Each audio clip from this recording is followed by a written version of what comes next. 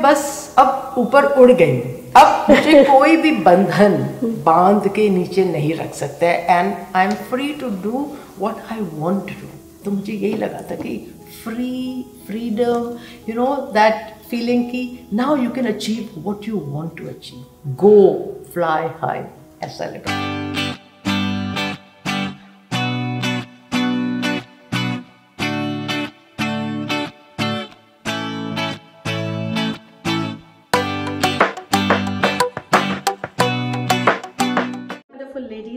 Welcome to the second episode of She the First. I'm really sorry for the bad voice, but I have to do this show, so I'm on for this show.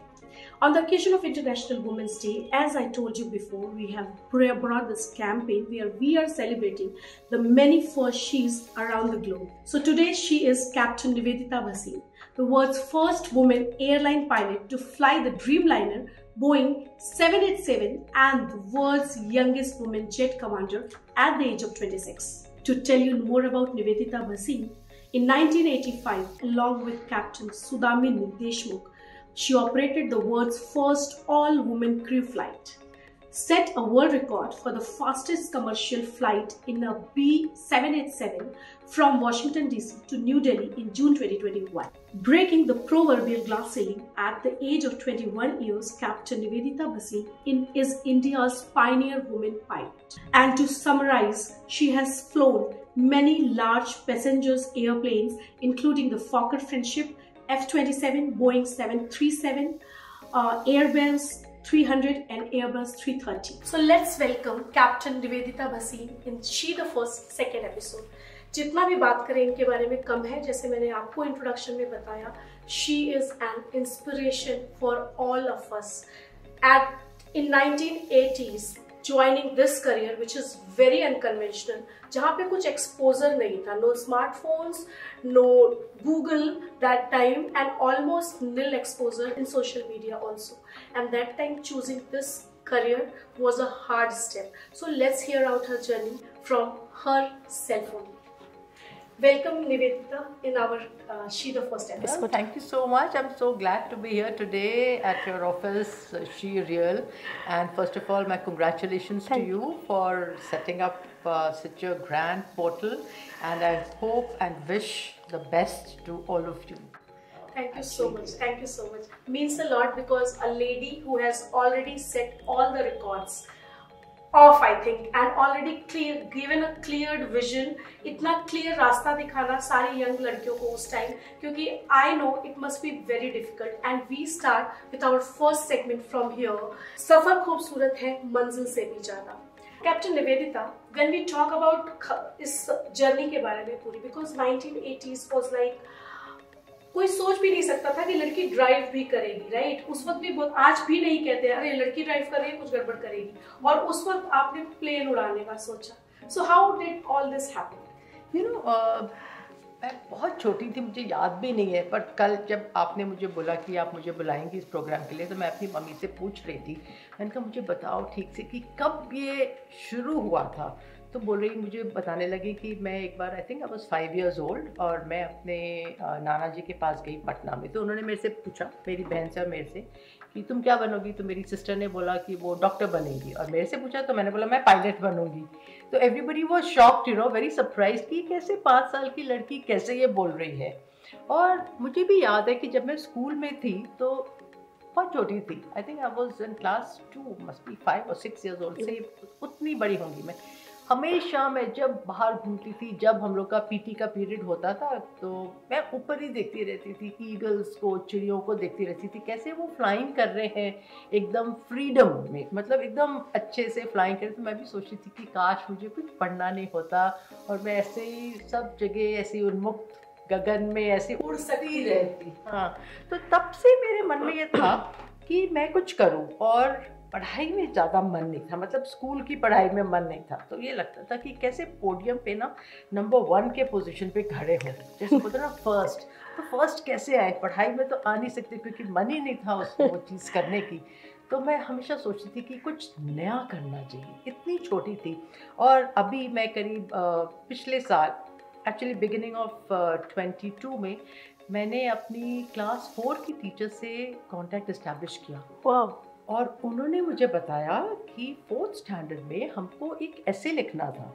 और उनको अभी भी याद है कि मैंने उसमें लिखा I want to be an airline pilot ये मुझे याद नहीं था पर हाँ. उन्होंने मुझे याद दिलाया और वो मुझे बोलने लगी चीज़ I think plus seventy plus रहते हैं। और उन्होंने मुझे बोला कि तब से वो मेरे बारे में अपनी हर स्टूडेंट्स को बताती हैं और उन्होंने मेरी जर्नी को फॉलो किया कि कैसे मैंने ग्लाइडिंग करी एरो मॉडलिंग करी फ्लाइंग करी, फिर मैं इंडियन एयरलाइंस में 1984 में मैंने ज्वाइन किया।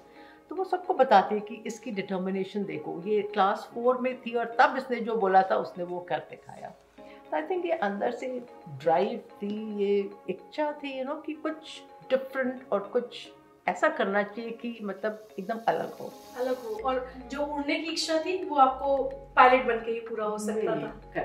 सो so, जब आप फ़र्स्ट टाइम उड़े तो ये कहते हैं ना कि when you do something for the first time you have butterflies in your stomach and so what was that thought जो फ़र्स्ट एक्सपीरियंस मिला जब आप पहली बार प्लेन में बैठे आपने अब मुझे पता नहीं कैसे उड़ाते हैं बट आप बैठे हैंडल है कि नहीं है, मुझे कुछ नहीं पता उसमें। बट आप फ़र्स्ट टाइम जब आपने वो कमान अपने हाथ में ली, मैं ऐसे बोलूँगी। So what was that feeling excitement किस लेवल पे था? और वो फीलिंग क्या थी? डर था या बहुत एक्साइटमेंट था या कुछ इमेजिनेशन सा ड्रीमी सा लग रहा था? यू नो मैं सबसे पहले तो चढ़ी थी एक कमर्शियल फ़्लाइट पे, दिल्ली टू आगरा। हमारी स्कूल की ट्रिप जा रही थी और मैं बहुत बीमार थी उस समय। पर मेरे मन में वैसे जुनून था कि मुझे ये छोड़ना नहीं है। तो मैं उसमें गई। उसका खैर मुझे बहुत याद नहीं है। खाली ये याद है कि बोइंग सेवन थ्री सेवन की छोटी सी प्लेन थी इंडियन एयरलाइंस में हम बैठे उसमें और गए थे।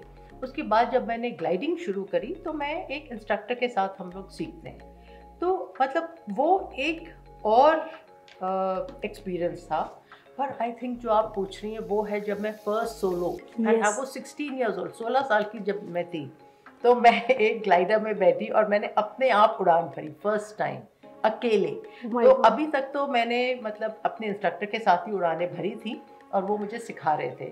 और इस समय जब I think it was August nine nineteen seventy nine आप सोच सकते हैं कितने साल हो गए इसको count I think forty three years हो गए इसको। तो मैं उसमें जब बैठी इतना छोटा सा ग्लाइडर और ग्लाइडर में इंजन नहीं होता है तो उसको एक विंच से पुल करते हैं और फिर छोड़ देते हैं एक हाइट पे जाके अराउंड 800 फीट एंड एक अपने आप सर्किट बना के तीन मिनट के बाद लैंड करना होता है। तो जब मैं गई तो मुझे ये लगा कि और मेरी जो भी परेशानियाँ थी, जो भी और मतलब वो सब सफल हुई हैं अभी तक, मेरे जो, मेरा जो ड्रीम था वो भी पूरा होने वाला है क्योंकि मेरा ड्रीम था कि मैं एयरलाइन पायलट बनूँ और मुझे ऐसा लगा कि मैं फ्री हो गई like a bird you know एकदम फ्रीडम ऐसा लगा कि मैं बस अब ऊपर उड़ गई अब मुझे कोई भी बंधन बाँध के नीचे नहीं रख सकता है। And I am free to do what I want to do तो मुझे यही लगा था कि free freedom you know that feeling की now you can achieve what you want to achieve go fly high ऐसा लगा। Wow and that's commendable because 16 साल की उम्र में वो ग्लाइडर उड़ाना और वो फीलिंग आना क्योंकि आजकल आज तक अगर हम देखें कैप्टन निवेदिता तो लड़कियों को ये फ्रीडम नहीं मिल पाती है। सो आई वुड आस्क जब क्योंकि आपने चिड़ियों को उड़ते देखा और आपने सोचा मैं भी कभी ऐसे उड़ूँगी जब आप इतनी फीट की ऊंचाई पे होती हैं राइट फ्लाइट्स में प्लेन उड़ा रहे हो सो so, उस वक्त आपको वो लिबरेटिंग फील होता होगा कि वाओ सो so, आप उस मोमेंट को कैसे डिफाइन मतलब खुद को कैसे कंट्रोल करती थी? क्योंकि मैं भी जब कोई बहुत मैंने कुछ अचीव कर लिया होता है जो मैं चाह रही हूँ तो उस वक्त मेरी मैं अपने स्माइल को रोक नहीं रोक नहीं पाती। तो आप उस चीज़ को कैसे नहीं एग्जैक्टली यही यही होता है। हर किसी के साथ you you look happy you feel happy जैसे कि अगर कोई ट्रैकिंग करता हो और कोई माउंटेन पे पहुँच जाए तो वो कितना खुश नज़र आता है। आप उसकी फ़ोटो देखिए जो पहले उसने ली है चढ़ने के पहले और आप उसकी एक फ़ोटो लीजिए जो शिखर के ऊपर पहुँच के तब उसकी फ़ोटो लेती है। वो अलग ही उनकी शक्ल लगती है और हम लोग उसको खुशी को छुपा नहीं सकते हम लोग। तो ये तो मेरा स्टेपिंग स्टोन था because my dream was to be an airline pilot and gliding was the first step और मैंने ये भी कल मम्मी से पूछा कि तुमने मुझे कभी रोका नहीं? इसके लिए कहती है कि मैं खुद इतनी बोल्ड थी कि मैं तुमको क्यों रोकती? तो मैंने उनसे एक और क्वेश्चन किया कि बाकी लोग तो पूछते होंगे कि आपकी बेटी ग्लाइडिंग कर रही है या फ्लाइंग कर रही है। कहती, मैं उसको उनसे ज़्यादा कुछ आंसर ही नहीं करती थी, उन लोग को कुछ बोलती नहीं थी। और always use to increase me मैं साइकिल से जाती थी Safdarjung flying club cycle four kilometre cycle चला के।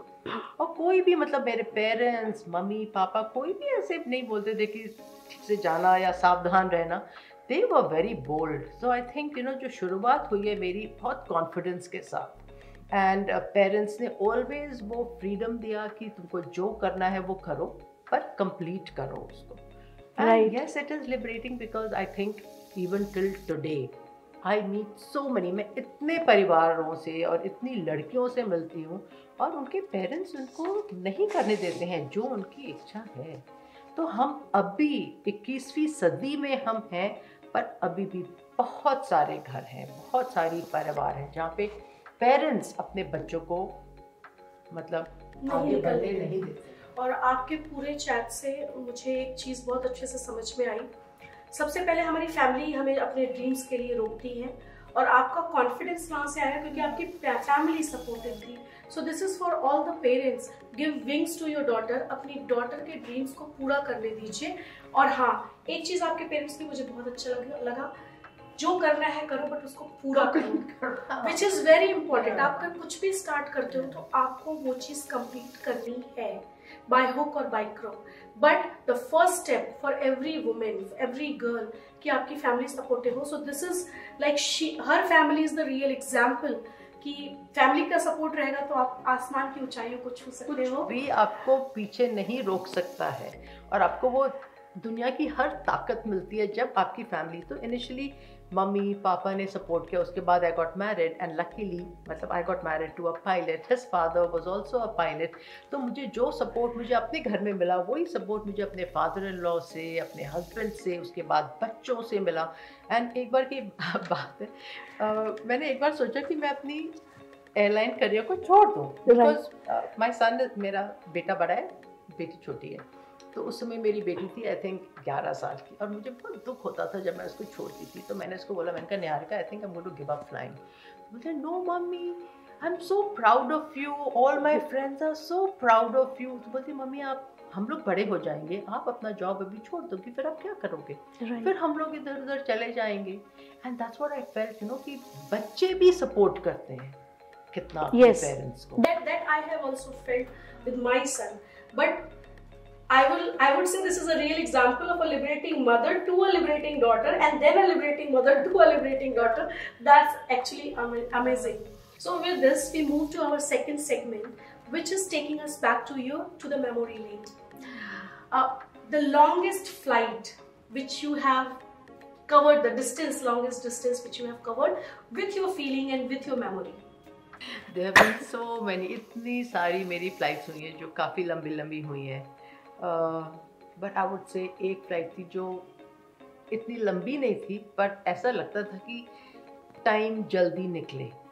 अब आप पूछें कि क्यों? हम लोग जा रहे थे दिल्ली से बर्मिंगहम वो इतनी कोई लंबी फ़्लाइट नहीं है, दस, साढ़े दस घंटे की फ़्लाइट है और उससे भी मैंने बहुत लंबी फ़्लाइट्स करी हैं to the US to Washington DC to New York to Newark हम लोग ने बहुत फ्लाइंग करी है, पर ये फ़्लाइट जो थी वो ऐसा लग रहा था कि समय जल्दी कटे और समय कभी कभी लग रहा था कि कट नहीं रहा है, क्योंकि उस फ़्लाइट में एक पैसेंजर बीमार हो गया। बहुत ओल्ड थे सिख थे और वो अपने किसी नेव्यू टाइप किसी के साथ ट्रैवल कर रहे थे।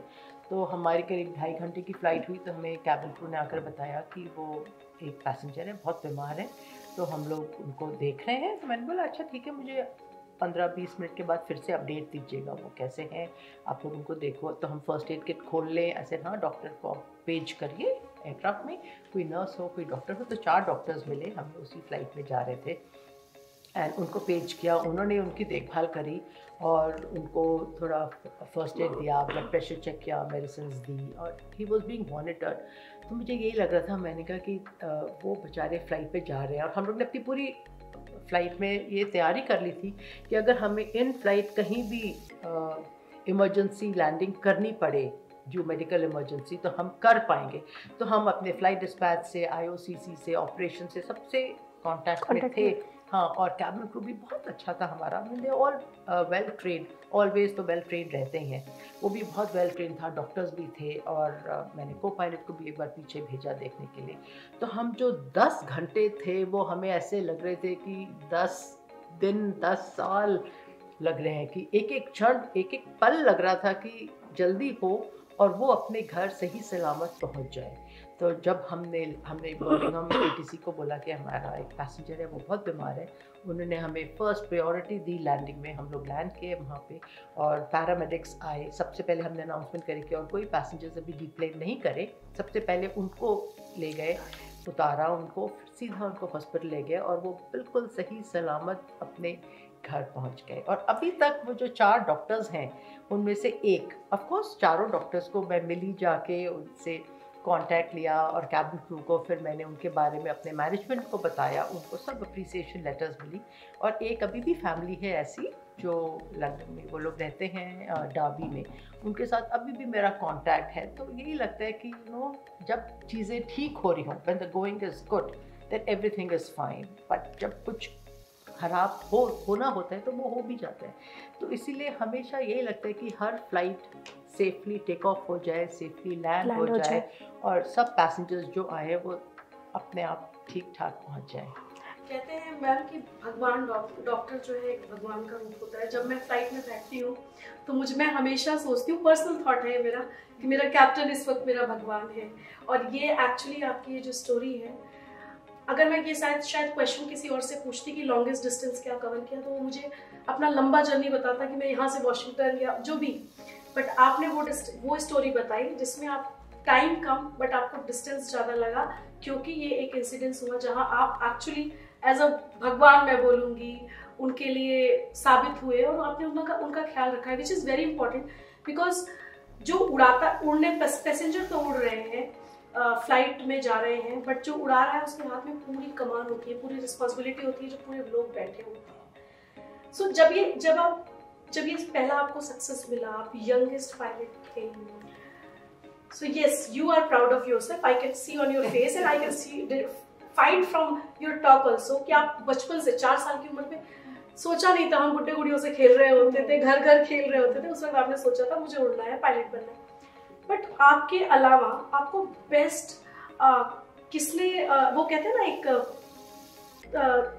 विश करना राइट कि congrats you did a wonderful job या फिर uh, किसने सबसे ज़्यादा इंस्पायर किया कि वाह यार या सबसे ज़्यादा खुश कौन आपके बाद मैं। तो बहुत ही खुश थी।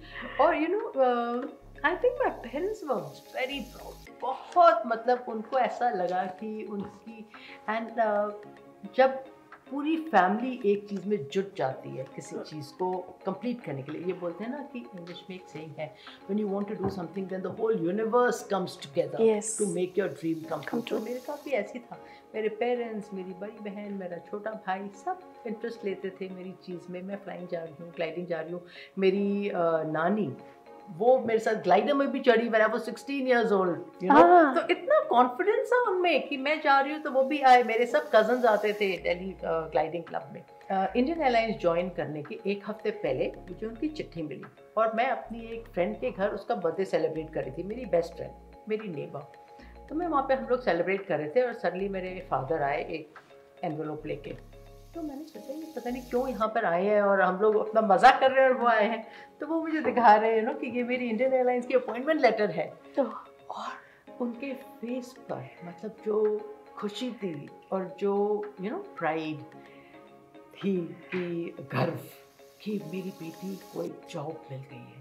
And I think that is the happiest moment for any parent कि या तो उसकी शादी के समय वो इतने खुश होते हैं या उसकी सफलता के समय।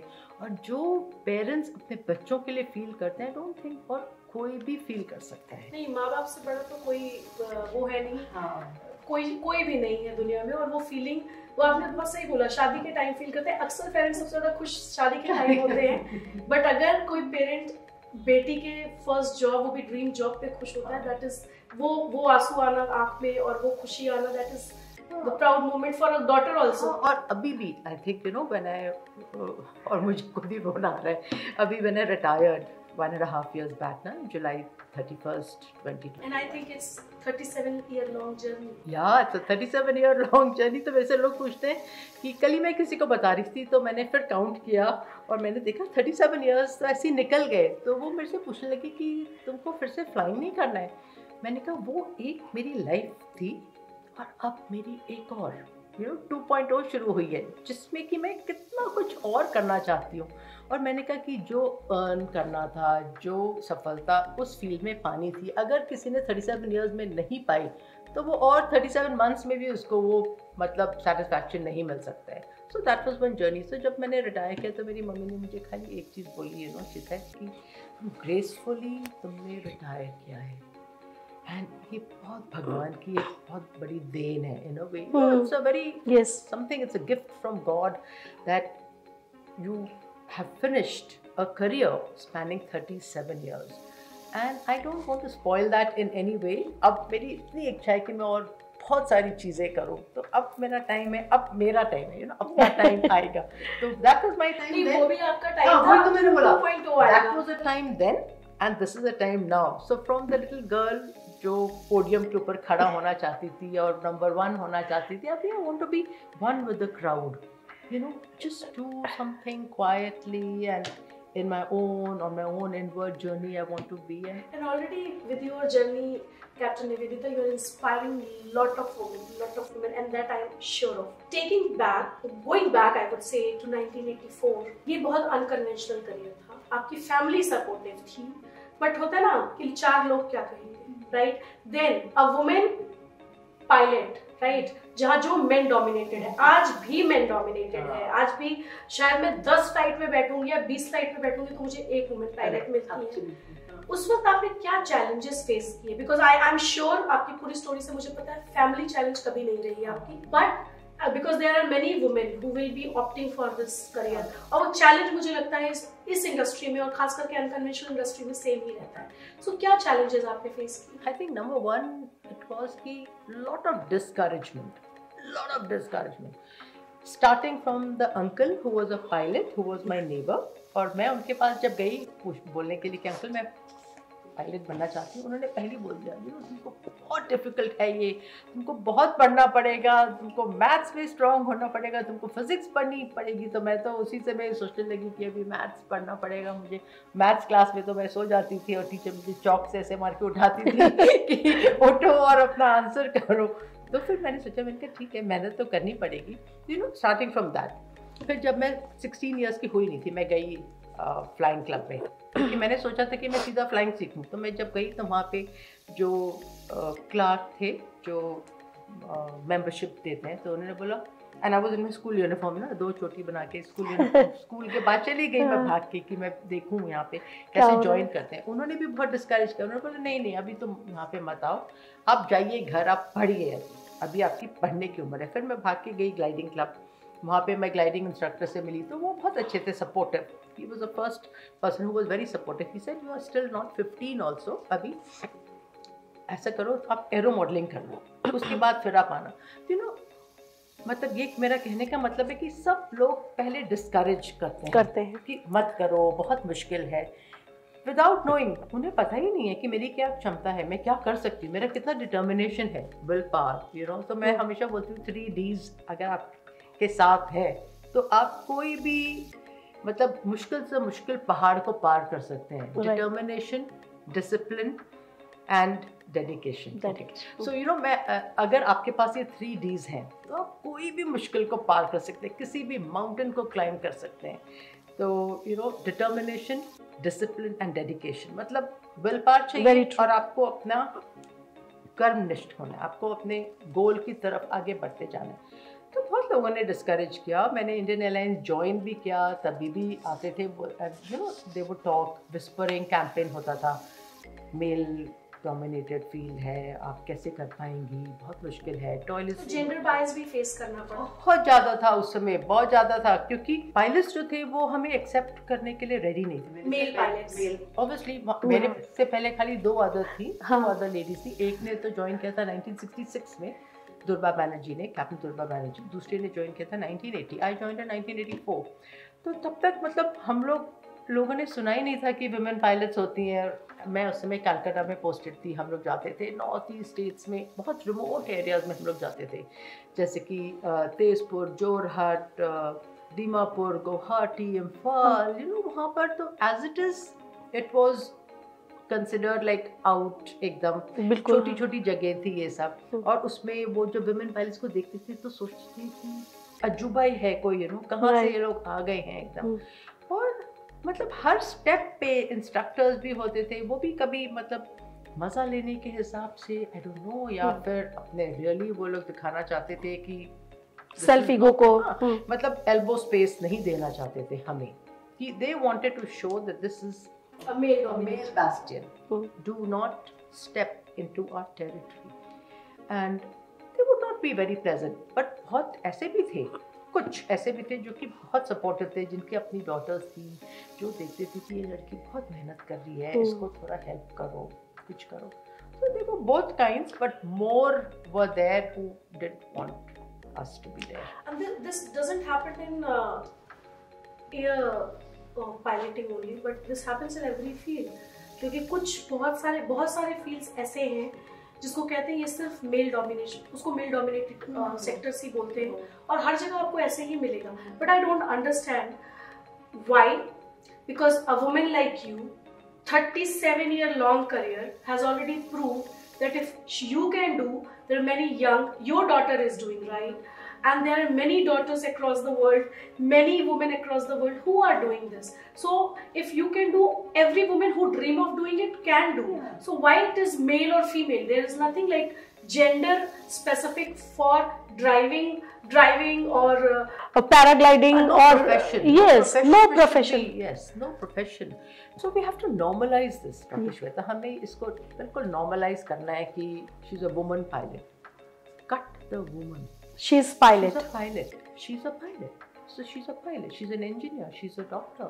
Forget the lady. You know, we all have work. We've done the same. We have the same qualifications. We've gone through the same training. Why are you, you know, uh, genderizing, I would say. Well, putting, putting gender before that. Why, why are you putting the gender before that? So this is very important. We don't need to be empowered. We already, already are empowered. You need to understand. Already empowered. I mean, what do you want to empower us? Abhi, abhi March 8th aayega, so suddenly, you know, everybody starts talking about, yes, but some girls need to see role models. इसीलिए yes. हम ये programme आज कर, कर रहे हैं क्योंकि इसलिए नहीं कर रहे हैं कि हमने कुछ बहुत मतलब डिफरेंट किया है या कर रहे हैं बट क्योंकि कुछ लड़कियाँ हैं कुछ बच्चियाँ हैं जिनको वो कॉन्फिडेंस नहीं है जिनके पेरेंट्स में वो कॉन्फिडेंस नहीं है तो उनके लिए हम ये उनको दिखाना yes, चाहते हैं. कि there are role models a person like me I didn't have a role model I was so young मैं कुछ करना चाहती थी। इंटरनेट नहीं था गूगल उस समय नहीं था कुछ नहीं था पर जो मुझे करना था मैंने अपने आस पास जाके पूछताछ करके करी। बट कई छोटी लड़कियों में ये ड्राइव या ये एंथुजियाजम नहीं है वो करना चाहती हैं पर डरती हैं। इसलिए डरती हैं कि समाज उन्हें क्या बोलेगा? क्या बोलेगा? पेरेंट्स उनके इतने स्ट्रांग नहीं है वो उनसे कैसा बर्ताव करेंगे अगर वो बताएँगे? So with this we move to our third segment which is proud of being a woman so ma'am already हमने आपके दोनों दोनों सेगमेंट और अभी तक की जर्नी में देखा कि you are a proud woman, you are a proud daughter, proud mother, proud mother-in-law also. And a proud grandmother. A proud grandmother also to add. forgetting that. Yes. yes. So a proud grandmother also. But I would ask here that आपने इतने सारे flights को उड़ाया and to name few uh, Boeing A787, Fokker Friendship F727, Boeing uh, 737. बताती हूँ। हाँ please मैं आपको बताती हूँ। तो मैंने जब शुरू किया वो था फोकर फ्रेंडशिप हाँ। छोटा प्लेन था 48 सीट और आप मुझे अपना फेवरेट भी बताना फिर इसमें ठीक है। तो वो था फोकर फ्रेंडशिप छोटा प्लेन था नेदरलैंड्स में बना है और डी सी थ्री के बाद ये एक प्लेन आया। बड़ा ही सुंदर प्रेशराइजेशन था इसमें, सब चीज़ थी। छोटा सा प्लेन था, हम लोग नॉर्थ ईस्ट से फ्लाइंग करते थे। फिर बोइंग सेवन थ्री सेवन मैंने उड़ाया। Nineteen eighty what eighty six eighty seven में। और बहुत ही अच्छा प्लेन था मतलब you know hands on like a sports car type of a plane 113 passengers होते थे उसमें। उसके बाद फिर एबास 300 उसमें फ़्लाइट इंजीनियर भी होता था उस पर टू पैसेंजर्स होते थे। फिर उसके बाद Airbus 330 which was a very modern and sophisticated aircraft you know side stick होती थी उसमें फ्लाइंग करने के लिए। और पूरा ग्लास मतलब you know everything was computerize in that aircraft और उसके बाद सेवन एट सेवन तो if you ask me which was my favourite I would say definitely seven three seven क्योंकि मुझे उसमें कमांड मिला। मैं उसकी कैप्टन बनी and I was only twenty six years old when I started flying that as a captain but of course we have to move with times जैसे जैसे अब हम इतने साल से रह गए एविएशन uh, में ही और यू you नो know, हर चीज़ बदलती है। There is a you know everything becomes better with time, with experience, with uh, research. So the 787 was brought to India in 2000, 2012 में mm. और जो एयर uh, इंडिया का जो सेकंड ड्रीम लाइनर था वो मैं उड़ाकर लाई from the factory in the US Charleston से मैं उसको दिल्ली लाई wow. तो वो बहुत ही मतलब ना it gave you lot of joy मतलब नया एयरक्राफ्ट आप फ्लाइंग कर रही हैं फॉर द फ़र्स्ट टाइम आप इंडिया आ रही हैं उसको लेकर और वाटर कैनन सल्यूट मिल रहा है। तो ये दो तीन ऐसे ऐसी चीज़ें जो हुई एक मेरी first flight on seven three seven ये जो हम डिलीवरी uh, फ़्लाइट बोलते हैं इसको ब्रांड न्यू एयरक्राफ्ट मतलब लाना एक yeah. जगह से। फिर मेरी जो रिटायरमेंट फ़्लाइट हुई वो भी मतलब you know sweet memories of these three okay on these three occasions then one of your colleague आपकी शिष्या ने पूरी स्क्रैप बुक बनाया उस पर मेरी शिष्या तो नहीं है वो पर उन्होंने मेरे साथ बहुत बार फ्लाइंग की। मैं शिष्या इसलिए बोल रही हूँ because some time if I I am getting inspire from you so I I would like हमें फ्लाई नहीं कर सकती बट आपके जैसा करेज ला सकती हूँ। तो आप मेरे लिए रोल मॉडल हुई। हाँ तो शी सपना यू नो सपना ने जब मेरा रिटायरमेंट हो रहा था तो उसने मेरी डॉटर को कांटेक्ट किया और उसने बोला, मम्मी की सब ओल्ड एल्बम्स निकालो फोटोग्राफ्स दो। तो इन लोग दोनों ने पता नहीं ओवर नाइट सब घर को उथल पुथल बचा के पूरी फोटोग्राफ्स ले ली और इतनी अच्छी स्क्रैप बुक बनाई है, जो कि मैं अक्सर बैठती हूँ तो उसको खोल खोल के देखती हूँ। क्योंकि उसमें उन्होंने मतलब मेरी life from the time I think I was in class six six उस समय से लेके अभी तक की जर्नी अलग अलग तरीके से उसको पोर्ट्रे किया है you know and it just bring back such happy memories captain Nivedita आप पायलट देन आप बिकॉज़ कहते हैं माँ की परछाई होती है बेटियाँ बट आपका बेटा भी आपकी परछाई है। एंड आपके हस्बैंड भी मैं बोलूँगी pilot is complete family of pilots right but when your daughter decided that she also wants to fly what was that feeling and how you prepared her? You know i didn't have to prepare her at all. और हम एक ये अक्सर एक बात सुनते हैं entitlement and entitled और बहुत लोग कहते हैं कि जैसे कि आ, वो पायलट है तो इसीलिए उसकी डॉटर या उसका सन पायलट बन गया। hmm. पर ऐसा नहीं है। See when I learn flying मैं तो अकेली फ़र्स्ट थी अपनी पूरी फैमिली में मुझे लगता है बिहार में भी उस वक्त हाँ नहीं बिहार में ऑलरेडी थी। अच्छा। बैनर्जी ने भी पटना से ही फ्लाइंग करी ओह wow yeah and with the same instructor with the same instructor उन्होंने फ्लाइंग करी। तो वो मेरे से पहले थी। तो जब uh, मेरी डॉट मेरी डॉटर ने कभी बोला नहीं कि वो फ्लाइंग करना चाहती है और वो भी थोड़ी बहुत बहुत चुलबुली थी स्कूल में। पढ़ाई में उसका भी ज़्यादा मन नहीं लगता था। तो सडनली एक बार मैंने देखा कि वो एक किसी कैबिन क्रू से चुपके से बात कर रही है मेरी फ़्लाइट पे कहीं जा रही थी। तो जब हमारी फ़्लाइट खत्म हुई मैंने उससे पूछा एयर होस्टेस से मैंने कहा मेरी डॉटर निहारिका आपसे क्या बात कर रही थी? तो कहती captain she wants to be a pilot like you And from her you got to know that she was yeah. तो my daughter was telling her कि I want to be like my mummy I want to be a pilot. छोटी थी उस समय। तो फिर मैंने कुछ नहीं उसको बोला। मैंने कहा you know she'll be embarrassed if I tell her कि has told me. मैंने कुछ नहीं बोला। फिर exactly क्लास ट्वेल्व ख़त्म किया। तो उसने अपनी बोला जब तक मैं उसका भाई ऑलरेडी पायलट बन गया था। तो उसने बोला I want to fly but I don't want to join the airline in which you and पापा एंड रोहन आर देयर मतलब आ, वो अपनी ओन अपना ओन मतलब पथ चूज़ करना चाहती रास्ता हाँ। बनाना चाहती थी और उसने ये बहुत बोला कि मैं किसी और एयरलाइन में ज्वाइन करूँगी। मतलब मैं अपने आप हर चीज़ करूँगी और आपको फ्लाइंग क्लब भी नहीं आना है आपको किसी से मिलना नहीं है और मैं किसी को मैं बताना नहीं चाहती कि मेरे पेरेंट्स या मेरा भाई फ्लाइंग करते हैं। And I was really proud पर मैं जब उसको ले गई गोंदिया ले गई थी उससे उस समय वो गोंदिया में एन शुरू हुआ था टू में। तो मुझे लगा बिल्कुल गाँव एक छोटा सा गाँव गाँव में से आपको जाना है, एक बस जाती थी, हर दिन सब बच्चे बैठ के जाते थे, वहाँ पे फ्लाइंग क्लब फ्लाइंग स्कूल में, और वहाँ पे कोई भी फैसिलिटीज़ नहीं थी उस समय बिकॉज़ बहुत न्यू ये जगह थी। बिजली नहीं थी, पानी नहीं था, कुछ नहीं था तो मुझे लगा ये लड़की तुरंत वापस आ जाएगी। पर मैंने उसको देखा, अपनी फ्रेंड्स को बता रही है फ़ोन में कि बहुत अच्छी जगह है, यहाँ पे बहुत अच्छे अरेंजमेंट्स है।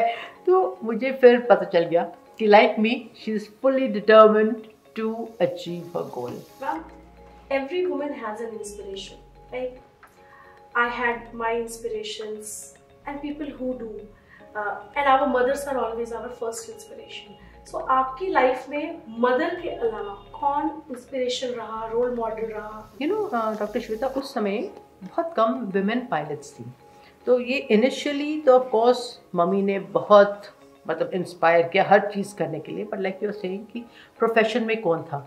तो मेरे एयरलाइन में दो वुमेन पायलट्स थी कैप्टन दुर्गा बैनर्जी और कैप्टन सुदामनी देशमुख उसी समय के कैप्टन देशमुख की कंटेम्प्रेरी एक हैं कैप्टन यासमिन रहमान वो बांग्लादेश में बांग्लादेश विमान में फ्लाइंग करती थी oh. उस समय। And she was married and she already had a daughter तो और मैं उनसे मिली। वो आई और कैलकाटा में रही और मैं उस समय कैप्टन देशमुख के घर में ही रह रही थी तो मैं उनसे मिली और मैं बहुत प्रभावित हुई उनसे क्योंकि वो मैरिड थी उनके हस्बैंड भी पायलट थे उनकी एक डॉटर भी थी और मैंने बोला मुझे उनके जैसा बनना है. And I saw you know कि I I thought that she was like doing everything right and correctly तो I said I want to be like her वो फ्लाइंग करती हैं उनकी फैमिली है उनकी डॉटर है।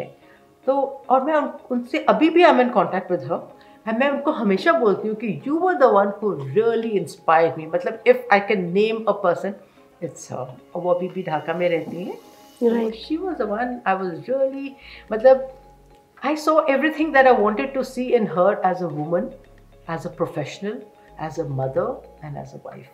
And, and she's that, a real. And I thought that is the real woman that I want to be like. And you are actually. That time you like to be, but right now you yeah. are. You are inspiration. And right now, I would say many of the girls who are who will be watching you and who are watching you will be. You are the role model inspiration that I want to be like Captain Vivek. I hope so. You know. Yes, and it's, it's the yeah. fact. It's the fact. Uh, एक challenge बहुत जो हमने पहले भी अभी discuss किया 1984 में ना ही स्मार्टफोन ना ही गूगल इंटरनेट इतना एक्टिव नहीं था सो so, आपने इंटरनेट था ही नहीं था ही नहीं उस वक्त तो कैसे आपने अपनी प्रिपरेशन की यू नो जहाँ चाह वहाँ रहा। वहाँ रहा। तो मैं और मैं शर्माती नहीं थी किसी से बात करने में और अपने लिए तो कभी मैंने शर्माया ही नहीं कभी भी मैं शर्माई ही नहीं। तो मैं किसी से भी चली जाती थी पूछने और मेरा लक भी था थोड़ा कि जब मुझे जो यू नो जैसे you receive something when you are ready to receive it तो हम लोग जा रहे थे एक बार आगरा जा रहे थे वहाँ से वापस आए ट्रेन में। तो मुझे जगह नहीं मिली तो मैं खड़ी हुई थी। तो चार पाँच ऐसे बॉयज़ थे खड़े हुए। मैं उनसे खड़े होकर ऐसे बात करने लगी you do I was in class ten वो आईआईटी के थे सब। तो बोलने लगे कि हम ग्लाइडिंग करते हैं। तो उनसे मुझे ग्लाइडिंग का पता चला और मेरे घर के बिल्कुल अपोजिट जो रहते थे, वो पायलट थे इंडियन एयरलाइंस में। तो मैं उनके पास चली जाती। फिर उन्होंने मुझे इंट्रोड्यूस किया एक मिस प्रेम माथुर से, जो कि पहले बिरलास के लिए फ्लाइंग करती थी वो D C three Dakota flying करती थी वो मेरी नेबर थी ग्रीन पार्क में उनके पास में चली जाती थी। अब वो sixteen years old and she was I think more than fifty six years old and you know फिर उनसे पता चला कि एक वुमेन पायलट्स की एक ऑर्गेनाइजेशन है। फिर उनको मैं हम लोग चिट्ठी लिखते लोगों से मिल मिल के मिल मिल के हाँ मिल मिल के और मुझे जो पता करना होता था मैं वहाँ चली जाती थी उनसे पता करने की कैसे कर सकते हैं बस लेके you know when I was so young bus लेके मैं चली जाती थी हमारे पास इतने मींस नहीं थे कि ड्राइवर है। So let's move to our second last segment social media ma'am एक गाना है। आजकल पाँव ज़मीन पर नहीं पड़ ज़मीन पर नहीं पड़ते मेरे। और आप उसका रियल एग्ज़ाम्पल हो आप पंछी की तरह उड़ना चाहते थे और आपने वही करियर ऑप्ट किया। तो कभी आपने ये गाना गुनगुनाया? या आपको ऐसा लगा ये गाना आपके लिए ही बना हो? यू नो ये वाला तो नहीं पर एक और है।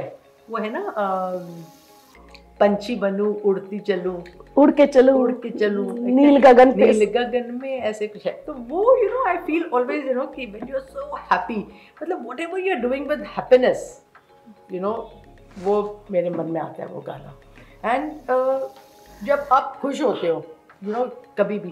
तो कुछ ना कुछ गाने का ही क्यों मन करता है? मतलब मेरा भी मन करता है यू नो दो आई कांट कहते हैं music is the best medicine for everything it is the best medicine पर आपके अगर आप कभी ट्रैक में जाओगे then you don't need anything क्योंकि तब आपको क्या चाहिए आपको क्या सुनने में मज़ा आता है?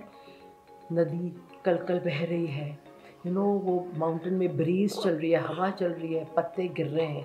That is music so you know it depends कि आप किस फ़ेज़ ऑफ़ लाइफ में हैं और आपको क्या साउंड्स अच्छे लग रहे हैं उस समय।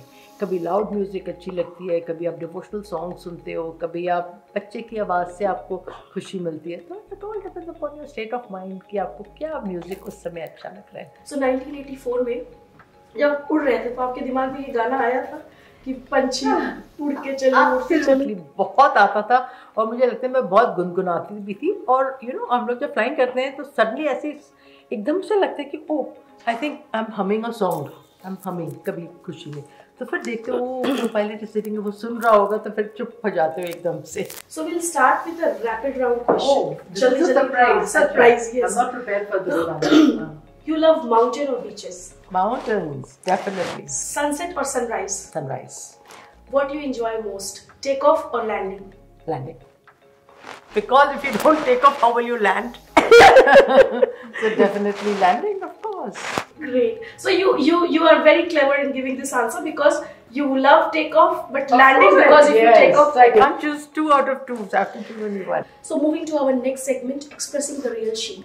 So Captain, what is your life mantra, mantra which you actually want to give to the young girls uh, as you have given to your daughter? Where there's a dream, there's a way. आप कुछ सोचती हैं कि आपको कुछ करना है तो आप कर लेंगी। पर आप अगर सोचोगे ही नहीं कि आपको कुछ करना है तो आप कैसे कुछ भी अचीव कर सकती हो? Right, but dreams हम सब देखते हैं, right? But आपके जैसे बोल्ड और कॉन्फिडेंट बहुत कम होते हैं। फैमिली सपोर्टिव बहुत कम होती है। तो उन लड़कियों के लिए क्या जो ड्रीम तो देखती हैं बस उसको फुलफिल करने का कॉन्फिडेंस नहीं रखती हाँ? तो अगर उनको कुछ कॉन्फिडेंस अपने फैमिली से नहीं मिल रहा है तो उन्हें वो कॉन्फिडेंस अपनी फैमिली को दिलाना पड़ेगा। और उन्हें जो चीज़ वो करना चाहती हैं, वो मतलब करके दिखानी पड़ेगी और उन्हें ये सोचना पड़ेगा कि अगर कॉन्फिडेंस फैमिली से नहीं मिल रहा है तो फ्रेंड्स से मिलेगा भाई बहनों से मिले, किसी और से मिले, जो ट्रेनिंग जहाँ पर लेना है, उनसे मिले उनको वो confidence and sometimes we have to do things totally of our own passion चाहिए उसके लिए ना जैसे बोलते बेली में फायर तो यू वांट दैट पैशन तो मेरा भी ऐसे पैशन था कि उस समय कोई रोल मॉडल्स कुछ पता ही नहीं था बट इतना पैशन था कि चाहे कितनी भी मुश्किल है, मुझे दिल्ली छोड़ के पटना जाना पड़ा फ्लाइंग करने के लिए क्योंकि मैं यहाँ पे इतनी महँगी थी फ्लाइंग मैं कर नहीं कंप्लीट नहीं कर पाई थी, मुझे पटना इतनी दूर जाना पड़ा मेरी पेरेंट्स ने भेज दिया। तो उस समय जो पैशन था, जो जुनून था ना, वो मैडनेस के जैसे था मतलब पागलपन था एक, कि ये करना ही है और ये करके दिखाना है तो you need that so basically अगर आप ठान लोगे कि आपको करना है तो आप खुद ब खुद अपने विल पावर से कोई ना कोई वे निकाल लोगे जैसे हमारे कैप्चर ने किया। Right ma'am next is I read that in 1988 you formulated a maternity policy pet maternity policy for women. So could you let us know more about it? Doctor Shweta उस समय टू वुमेन पायलट दो थी मेरे से पहले and they were not married then I joined in 84 and then in 87 I got pregnant, and I was expecting my first child. और मुझे पता ही नहीं था कि क्या करना है, और उस समय मतलब जैसे आपने बोला कि इंटरनेट वगैरह कुछ नहीं था, हम लोग एक दूसरे को चिट्ठी लिखते थे दो I was in contact with women pilots all around the world because हम लोग की ऑर्गेनाइजेशन है the ninety nines which is an international organisation of women pilots पर कोई ऐसे ठीक से बता नहीं पा रहा था, क्योंकि उन लोग के अलग रूल्स एंड रेगुलेशन थे, और इंडिया में कोई रूल बने ही नहीं थे जब तो मैंने almost four and half months तक ऐसे फ्लाइंग किया। और फिर मुझे अपने एक इंस्ट्रक्टर मिले और उन्होंने बोला कि नहीं why do want to put your life and the baby's life in jeopardy आप घर में रहो आप रिलैक्स करो और आप जब द बेबीज बॉर्न तब आप वापस आना। तब तक में हम लोग ने अपना और थोड़ा सा पता किया आई के ओ के डॉक्यूमेंट्स पढ़े उसमें लिखा था first trimester and third trimester में it's a little bit difficult but second trimester में यू कैन फ्लाई एंड उसमें था कि after six weeks after the baby is born और after the pregnancy is completed then you can come back to join your work और आप ये सोचो कि हम लोग इतने कंटेंशियस थे उस समय कि जिस दिन बच्चा छः हफ़्ते का हुआ उस दिन हम लोग ने उसको छोड़ा और वापस आ गए काम पे हम्म। तो कोई रूल्स नहीं थे। उसके बाद फिर इंडियन एयरलाइंस ने अपने पर्सनल डिपार्टमेंट को बोला कि अब आपको कुछ पॉलिसी बनानी पड़ेगी। तब वो जाके उस समय आई थिंक 88 में वो पॉलिसी बनी मटर्निटी पॉलिसी इंडियन एयरलाइंस और तब तो खाली दो एयरलाइंस थी इंडिया में एक वायुदूत भी था एक Air India Indian Airlines and Vayudoot into Air not really no I didn't because मेरा वो कुछ था कि मैं एयरलाइन पायलट ही बनना चाहती हूँ। बहुत बड़ा प्लेन उड़ाना चाहती हूँ। That was my dream and I never thought of being in the air force पर मैं बहुत डेयरिंग चीज़ें करना चाहती थी। मतलब without being in the air force तो मैंने स्काई डाइविंग करी मैंने एक बाई प्लेन की विंग पे खड़े होके फ्लाइंग करी यू you नो know, जिसको बोलते हैं विंग वॉकिंग Oh wow. वो किया मैंने।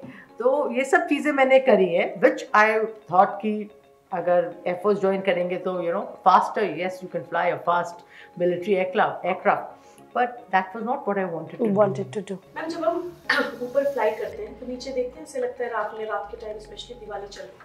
आपने दिवाली के टाइम फ्लाई किया है और वो नज़ारा क्या रहा?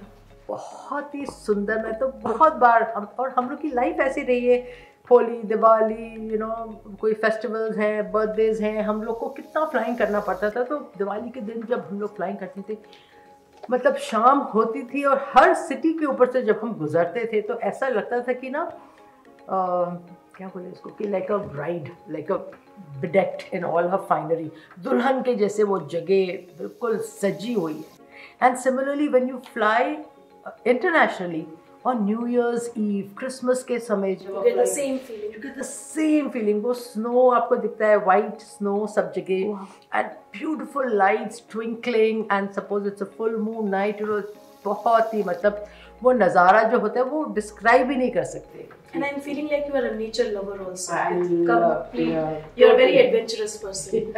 So now the last question, ma'am. While going through your scrapbook, I have I had a line there. Why women make a better pilot on your name, right? I want to ask you why women make a better pilot. You know, I want to rephrase that question. I don't think you can say better. Nobody can be better or nobody can be the best. There's nothing. We are all pilots. And when we call ourselves pilots, it's what we do professionally.